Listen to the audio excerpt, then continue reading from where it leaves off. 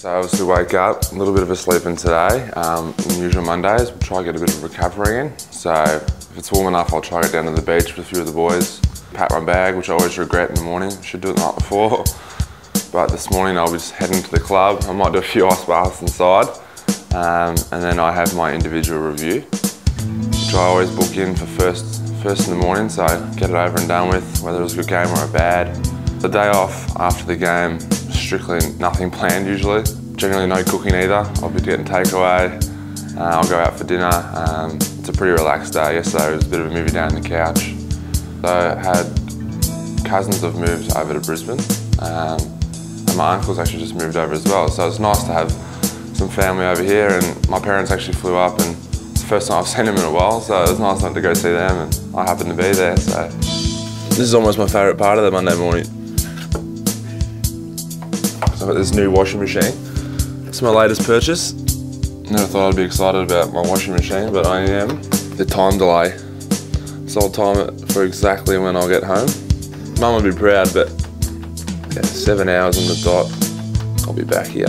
So I was born um, in Northern Ireland, um, in a town called Dungannon, where I was born, and I grew up, I lived in Broca. Um, we moved to Australia, to Perth in July 97. We packed the family up. We had the six of us in the old station wagon, uh, the bench seat. So packed it in, everything else in the trailer and drove across. Grew up in Melbourne, um, went to school there, grew up there. And when I was lucky enough, when I was 18, finished school, I uh, got drafted and moved to Sydney. So been around a little bit. Yeah, that's um, that was a Christmas present from Kate. That's, uh, that's the man, Connor. Um, really jumped on the bandwagon there. Yeah, so that's the only artwork I've got up at the moment. Um, I have a few other pieces. Actually, I've got a ripper one I'd like to show you. This is my other, oh, a bit dusty. This is my other favourite piece of artwork. It's Maury and Kenners, anyone can't recognise them.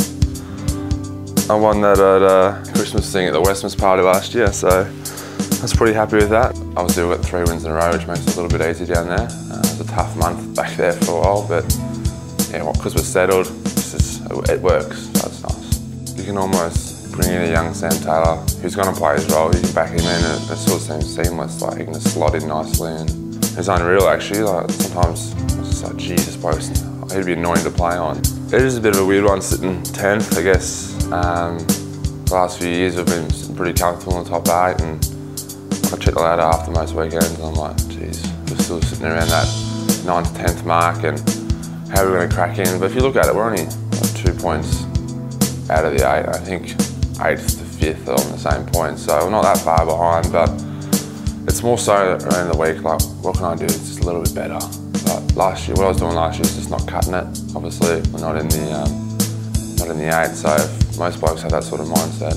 There is a lot of, I guess, pressure when it comes into the weekend, like we, we have to win, and there's a bit of that about it, but it's pretty exciting, I reckon. It's a good challenge, and yeah, we had a, I know we had a full-on month, and there's some good teams there, and um, but that's a good challenge for us, and that'll, that'll show us where we really stand. And you know, if we can take those four points off those teams, that'd be great because we need them to catch up, and obviously taking off them would be better. So yeah, if we get all our boys back in the park and keep playing the way we are, it's we're, we're definitely in the game.